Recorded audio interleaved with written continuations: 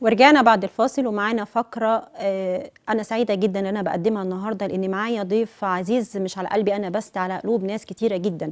مش بس كده ده قدر كمان يكتب باسمه حروف من ذهب. معايا ومعاكم دكتور عادل عبد العال خبير الأعشاب والطب البديل. بنرحب بحضرتك يا دكتور. أهلا وسهلا.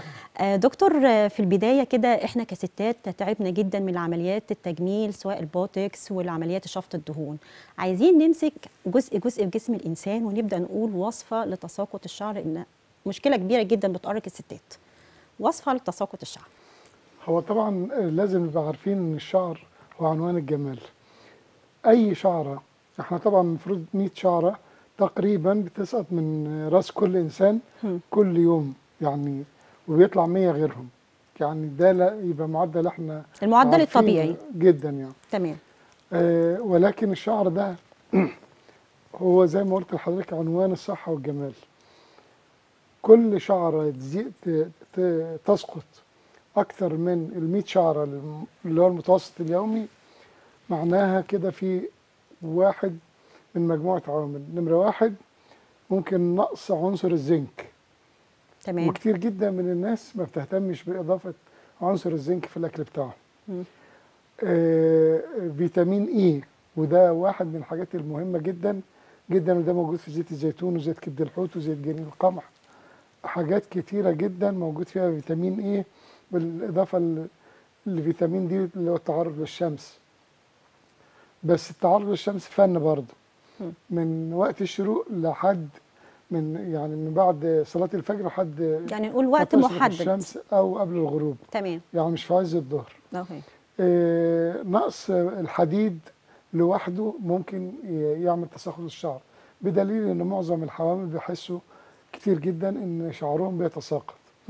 آه، إذا اتكلمنا بس على الفيتامينات والمعادن ودول عناصر مهمة جدا عشان حاجة اسمها التوازن الخلوي اللي بيحافظ على خلايا جسم الإنسان في حالة من حالات التوازن في المية بقى وجعلنا من الماء كل شيء حي الناس كتير جدا في الشتاء ما بيشربوش مية كتير. ويلاقوا شعرهم بيتساقط كتير برضه. وناس متخيلة إن الحجاب بيوقع الشعر مع إن كل ما دفيت فروة الرأس كل ما الشعر زاد طوله الشعر. أكتر. لا زاد طوله وحميناه في نفس الوقت من التلوث عوادم السيارات والحاجات دي. فالشرب المية مهم جدا جدا آه، إن إحنا نتعلم آه، نعمل ديتوكس في البيت آه، مية وعليها شرايح ليمون وخيار وشوية زنجبيل صغيرين وده يبقى مشروب مفضل لأي حد عاوز بشرته تفضل شباب طول العمر يبقى لازم يعمل الديتوكس ده يوميا ثلاث كوبايات على الأقل كل يوم قبل الأكل مباشرة ياخد الثلاث كوبايات آه، آه، للديتوكس عشان ننظف جسمنا ونطرد السموم وال دكتور أستأذنك ناس كتير عرفت إن حضرتك معانا فمعانا اتصال تليفوني إيمان من القاهرة. ألو؟ ألو السلام عليكم. وعليكم السلام اتفضلي. بصوا أنا عايز اسال أسأل الدكتور عن وصفة. للقشرة. قشرة كتير في الشعر. قشرة الشعر. حاضر. الد- الدكتور هيجاوب عليكي دلوقتي. حاضر شكرا. قشره الشعر طبعا في إيطاليا آه، بيستخدموا وصفة بسيطة جدا آه، للتخلص من قشره الشعر نهائيا. آه، بيجيبوا مية عادية وبيغلوها ويروحوا حاطين عليها شرايح توم رقيقة اللي ما عندوش حساسية من التوم يعني. وبيحطوا عليها مغلي بقدونس. وبيشطفوا فروه الراس بعد أي دش بياخدوه. طيب كم مرة في الأسبوع يا دكتور تعمل الوصفة دي؟ آه، الشعر الدهني المفروض ثلاث مرات في في الأسبوع؟ في الأسبوع. الشعر ال- العادي مرتين في الأسبوع. الشعر الجاف مرة واحدة بس في الأسبوع كافي. طيب إحنا عايزين بقى نرجع لوصفة لتساقط الشعر لأن الستات كتير والبنات بيعانوا من مشكلة تساقط الشعر. نعمل لهم إيه؟ في آه، مجموعة زيوت ممكن الناس تعملها في البيت والزيوت دي مهمة جدا جدا. لفروه الشعر من من أكثر الزيوت أهمية في العالم كله. آه، أهم زيت على الإطلاق زيت الجوجوبا. زيت الجوجوبا. واحد من الزيوت اللي بيسموها اويلي أو الواكسي اويل أو الزيوت اللي هي ال- الواقع بتعمل كفر يعني. ده زيت الجوجوبا واحد من الزيوت المهمة جدا. زيت الأرجان واحد من الزيوت اللي ممكن نحطها في الخلطة بتاعتنا. ممكن نحط معاه شوية من زيت جوز اله- جوز الهند آه، زيت الصبار حاجة من الحاجات المهمة قوي قوي إذا عملنا الخلطة من الاربع أو خمس مكونات دول هيدوا نتائج غير عادية. طب نستعملها مش إزاي يا دكتور؟ آه، آه، بندهن بيها فروة الراس ونسيبها لمدة 20 دقيقة على الأقل ونلف فوطة سخنة على الراس لمدة آه، ربع ساعة. وبعد كده نشطف الشعر بدون صابون وبدون شامبو وبدون أي حاجة. يعني نستعملها كحمام زيت قبل ما ناخد شاور. حمام زيت ده مهم جدا بشرط ما نستخدمش شامبو بعديه. يعني نخلي فروة الراس تبدأ تتغذى بالزيوت دي. تمام. آه ممكن الوصفة ديت نعملها حتى لو بنات صغيرة بيعانوا مثلا من تساقط الشعر؟ البنات الصغيرين دايما بنعوز لهم إحنا ال- الزيوت اللطيفة. من أهم الزيوت اللي ممكن تستخدم آه، للبنات الصغيرين زي ما قلنا زيت الجوجوبا وزيت آه، جوز الهند آه، وزيت آه، الجرجير. ممكن نحط نسبة آه، 5% من زيت الجرجير عليه هيفيد الشعر بفايدة كبيرة جدا. دكتور النتيجة بتبدأ تظهر بعد قد إيه؟ يعني أبدأ ألاحظ على شعري بعد قد إيه؟ الشعر بتاعنا بينمو سنتي كل شهر خلال ثلاث شهور المفروض يحصل نتيجة كويسة. طبعا إحنا عندنا في جهاز زي الأورال كاميرا كده كاميرا بنفحص بيها فروة الراس. الكاميرا دي بتبين لنا الأول جدر الشعرة إذا كان في قشر أو التهاب. 90% من البنات اللي بيتساقط شعرها سواء صغيرين أو كبار وخصوصا في مرحلة المراهقة لما بنيجي نفحص فروة الراس بنلاقي دمامل صغيرة حبوب صغيرة طالعة في فروة الراس. أي التهاب في فروة الراس هيؤدي لتساقط الشعر فورا لأن الشعر ده حاجة رقيقة جدا ومجرد ما يحصل التهاب في فروة الراس حد بيهرش حد بيعمل شعره بعنف حد وهو بينشف شعره حتى بالفوطة بيفرك آه، شعره. آه، حد بيسرح شعره لورا ويشده ويتربط جامد ده بيخلي جدر الشعرة يبقى آه، تشد. جاهز للالتهاب باستمرار يعني. أي حركة شد عنيفة للشعر بتعمل التهاب في فروه الراس وبالتالي تؤدي لتساقط الشعر. طيب. نعتبر الشعرة دي مجرد زرعة في الأرض. الزرعه دي لو جذورها شمت الهواء بتموت على طول. فاحنا بنقول ربط الشعر بقوة أو آه، عمل ضفاير شديدة في الشعر أو تدليك الشعر بعنف حاجة من الحاجات اللي ممكن تخلي أي شعر يلتهب. إذا التهبت فروة الرأس لازم الشعر يبدأ يتساقط. عشان كده بننبه إحنا لا تدع أي جزء في جسمك يلتهب وخصوصا فروة الرأس. آه، الناس اللي بيجي لها بقى الام في القولون وفي المعدة وفي الأمعاء والتهاب في المعدة وقرحة في المعدة دول عرضة جدا لتساقط الشعر. عشان كده بنقول دايما لطف جسمك من الداخل. ألطف جسمي من الداخل إزاي؟ قبل ما أنام آخد كوباية زبادي. طب عاوز اضاعف قدرة الزبادي دي على مقاومة الأمراض وأخليها pro- probiotic أضيف عليها معلقة خميرة وشوية عسل. إذا عملت الخميرة بالعسل بالزبادي مش للشعر والبشرة بس. ممكن أستخدمه mask وممكن أكله. إذا أكلناه بيعمل تلطيف للجهاز الهضمي وبيكتر البكتيريا المفيدة. إحنا بنقول دايما أي حباية بتطلع في الوجه هي إشارة إن في في البطن آه، حاجة مش عرض كويسة. مش كامل مش يعني الناس اللي بيطلع لها حباية هنا نقول له عندك القولون مش كويس. حباية هنا يبقى حباية هنا يبقى القلب عنده مش كويس. فأي التهاب بيحصل في أي جزء من أجزاء الجسم. الداخلية بيظهر على البشرة. عشان كده كان عاملين جهاز إحنا اسمه ال face diagnosis. زي ال oral camera كده بنفحص بيه البشرة. كل بقعه سوداء في البشرة بتدل على عطل آه، في الجسم. يعني مثلا الستات فترة الحمل نلاقي الحتة دي كلها اسودت يبقى معنى كده إن الكبد عندها نتيجة إفرازات البيبي آه، آه، متحمل إفرازات كتيرة جدا وبيسود. عشان كده بناخد نقول للناس الصبح على طول ناخد معلقة كركم على كوباية حليب نسخنه ونشرب كوباية الكركم بالحليب بارد نسيبه لما يبرد ونشربه. يبقى أنا دلوقتي خدت انتي بيوتيك والغريبة إن الكركم بيدوب في الحليب بشكل كويس قوي. يعني في ناس بتدوب الكركم في مية وما بيدوهمش نتيجة. من المشروبات اللي موجوده في الإمارات مشروبات الضيافة العادية الكركم مع الزنجبيل مع الحليب بتاع الجمال. وده مشروب رائع جدا. عشان كده هتلاقي الستات في الإمارات شعرها كثيف جدا جدا و... وسميك وقوي بيلمع باستمرار يعني. طيب دكتور الوصفة ديت ملهاش أي أعراض؟ لو حد مثلا عنده سكر عنده ضغط ملهاش أي أعراض عليه؟ هو بالعكس الكركم مع الحليب حليب ال- الكركم وحليب الجمال مع الزنجبيل من الحاجات المفيدة جدا جدا حتى لمريض الضغط حتى للناس اللي عندها سكر. حتى للناس اللي عندها التهابات في أجزاء معينة من الجسم. فإحنا بنقول الوصفة دي الشعب الإمارات كله شغال عليها من 50 سنة لحد النهارده وهتلاقي الناس ما شاء الله تبارك الله صحتهم زي الحديد. تمام معانا اتصال تليفوني أم حمدي من الفيوم ألو؟ ألو؟ طيب آه، دكتور هنطلع فاصل سريع ونرجع نكمل باقي حلقتنا اتفضل. فاصل سريع.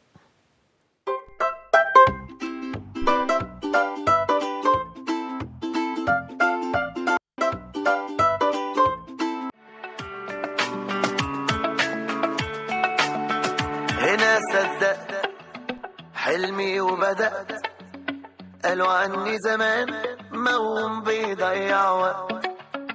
لا يوم سلمت ولا استسلمت ووقعت وقمت وامبارح غير دلوقت هنا قلبي من جوا ده اللي بيديني القوة. في طريقي مشيت واديني ثبت من هنا قررت بعد ما فكرت أمشي عالصعب وعرفت أنا لما كبرت إن اللي تفكر في أزمة كان خوفك منه ملوش لازمة وأديك عالصعب قدرت واللي زمان ضحكوا عليك شوفهم دلوقتي بيداروا كسوفهم وراهنوا عليك تخسروا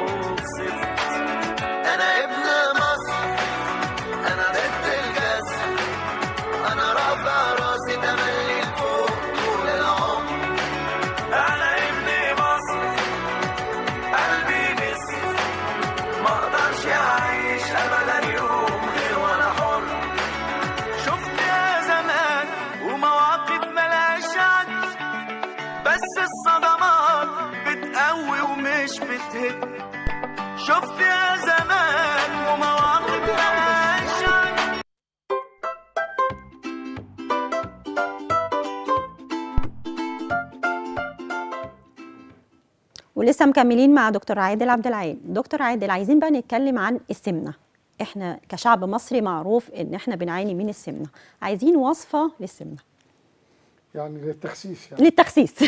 أيوه. التخسيس عملية بسيطة جدا جدا. إذا الناس فهمت إزاي تاكل. مم. إحنا أكتر شعب في العالم في العالم في الدنيا دي كلها على وجه الأرض بياكل خبز. مم. يعني في ناس بتضرب لها رغيفين ثلاثة في الوجبة. في الف- الفطار وفي العشاء وكده. في كل وجبة. آه. إحنا بنقول دايما ال- الخبز ملك زيادة الوزن. يعني إحنا لو حبينا نتخن أي حد بنعمل له فتة.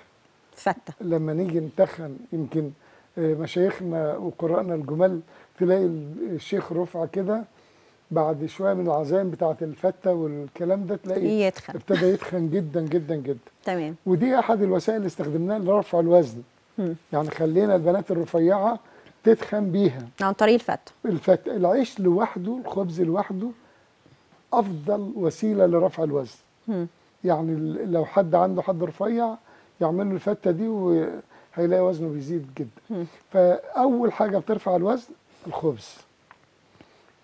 المكرونة الشعرية النودلز تخيل انت طبق آه، شعرية بسيط كده الناس بتاخده شوربة الشعرية وشوربة النودلز وشوربة ال- الشوربه بتاعت المكرونة الصغيرة. دي آه. الرفيعة دي آه طبق واحد منها واحد يساوي حلة محشي حلة محشي طب نقول بقى إيه للمحشي نفسه حضرتك آه. كنت بتقول المحشي ممكن ما بيتخنش أنا آه، بقول الكلام ده أنا عامل رجيم اسمه رجيم المحشي. طب ده كده الستات هتجري على المحشي يا آه، دكتور. الناس بتنزل 2 كيلو فيه اسبوعيا بدون آه، جوع. يعني ممكن يفطروا محشي ويتغدوا محشي ويتعشوا محشي. المحشي ده أنا بسميه عبقرية المصري.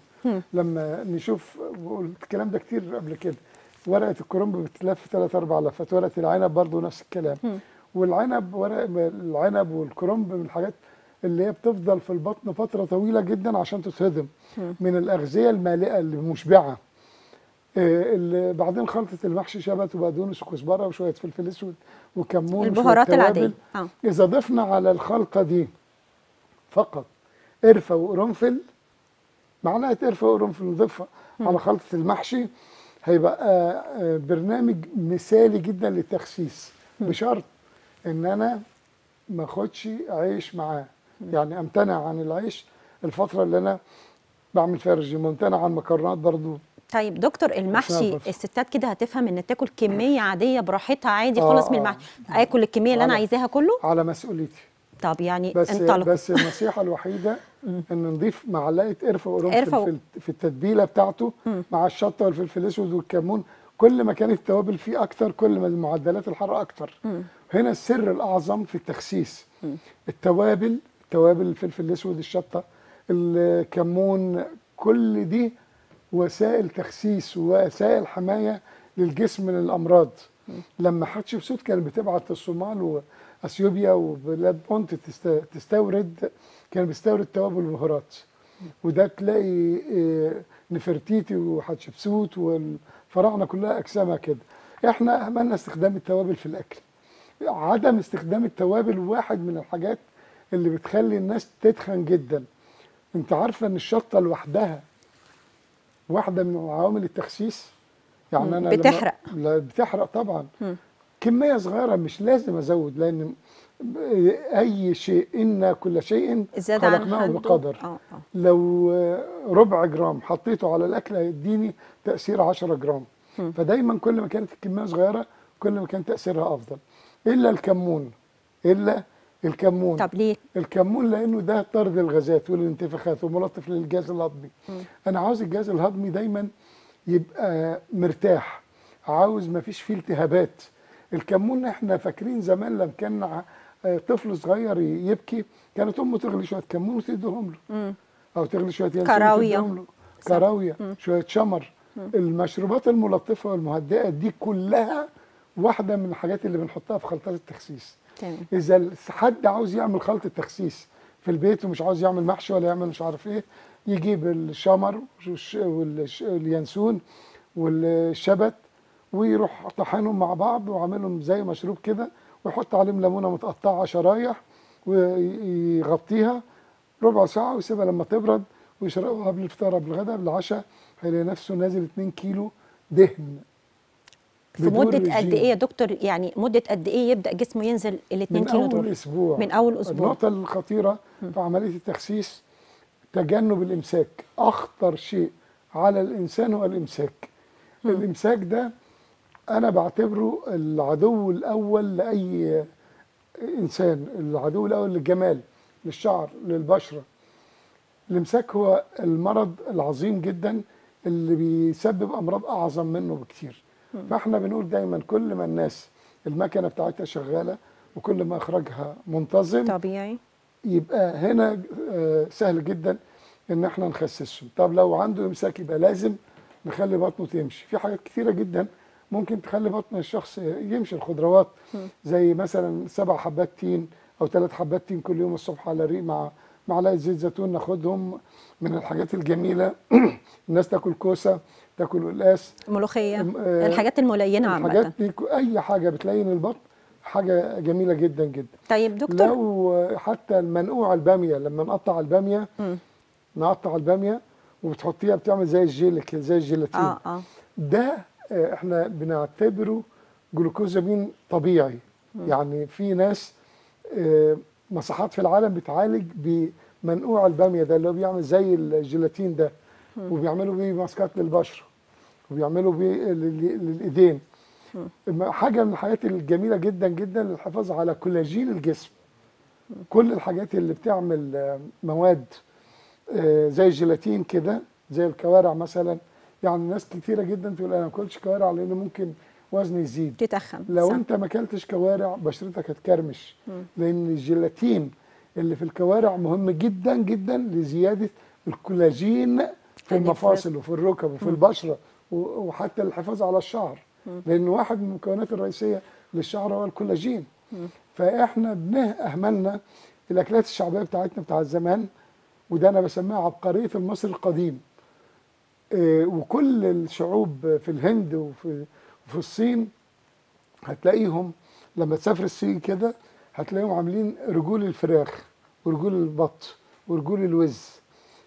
أي حاجة فيها آه، كولاجين طبيعي حاطينها وبتتباع كطبق من الأطباق الغالية جدا جدا كوجبة. أساسية عنده. بشكرك يا دكتور وقتنا جري وعايزين حضرتك توعدنا في سلسلة حلقات فعلا لأن إحنا محتاجين نرجع تاني للعلاج بالأعشاب. إحنا عاوزين نرجع للعلاج بالطبيعة نتعلم إزاي نتنفس على فكرة أو أهم وسائل شحوب البشرة عدم التنفس الجيد. من التنفس العميق أملى صدري هواء كل يوم لمدة 10 دقائق في وقت الشروق أو وقت الغروب واحد من الحاجات اللي بتخلي الناس شباب على طول. اتنفس صح. نفس صح طيب دكتور كمان أنا سمعت حضرتك عامل الطب الفرعوني. عايزة حضرتك تكون معايا في سلسلة حلقات ونتكلم عنها بصفة عامة. الطب الفرعوني ده سحر. ما إحنا عايزين السحر ده يكون. معانا. إن شاء الله في سلسلة حلقات تتكلم عنه شاء الله، بشكرك يا دكتور. شكرا. للقائك. وبكده خلصت حلقتنا النهارده. استنوني الأسبوع القادم في احلم مع شيري bye bye. هنا صدقت حلمي وبدأت.